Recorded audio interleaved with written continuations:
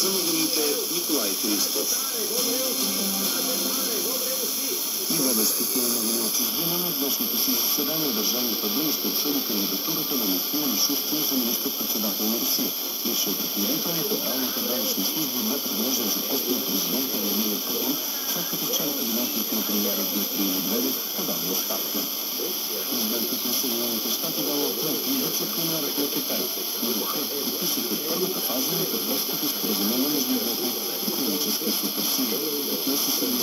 увеличи вноса на американска продукция през следващите две години с 200 милиарда долара на равнището от 2017.